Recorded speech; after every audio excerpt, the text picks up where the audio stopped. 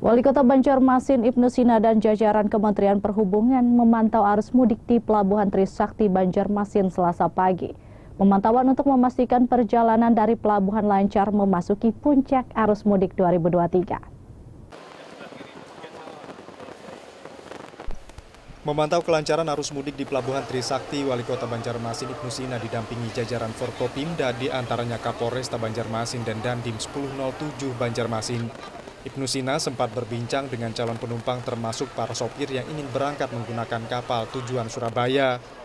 Sejumlah sopir angkutan truk dan ekspedisi didapati mengalami kendala bepergian lantaran terjadi pembatasan di Pelabuhan Tanjung Perak, Surabaya. Mungkin sekitar 15 ribuan ya. Dalam satu pekan ini mudah-mudahan bisa terangkut semua. Hanya tadi yang jadi kendala adalah angkutan truk ya dan juga ekspedisi yang memang ada pembatasan di Surabayanya.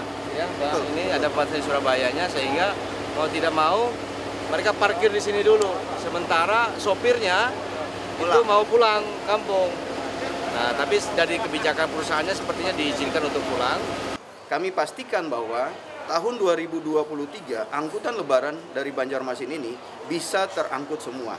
Kalaupun nanti ada penumpang yang masih tertinggal atau tidak memperoleh tiket. Dalam jumlah besar, kami akan berkoordinasi, ada kapal cadangan, ada juga kami mempersiapkan kapal negara, Kementerian Perhubungan, untuk digunakan menyeberangkan saudara-saudara kita yang belum mendapatkan tiket nanti ke Surabaya.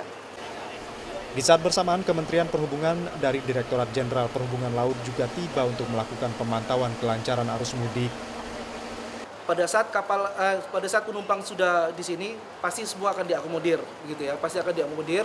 Mungkin harinya saja yang di switch ke hari berikutnya. Karena menurut informasi besok ada tiga kapal lagi yang akan datang di pelabuhan ini.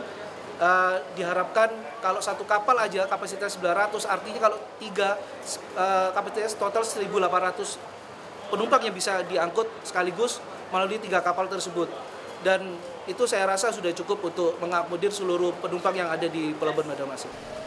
Berdasarkan data posko lebaran, 11 hari sejak posko dibuka hingga selasa pagi telah diberangkatkan 8.211 penumpang dari Pelabuhan Trisakti, di mana peningkatan penumpang semakin terasa dan puncaknya pada dua atau tiga hari sebelum lebaran.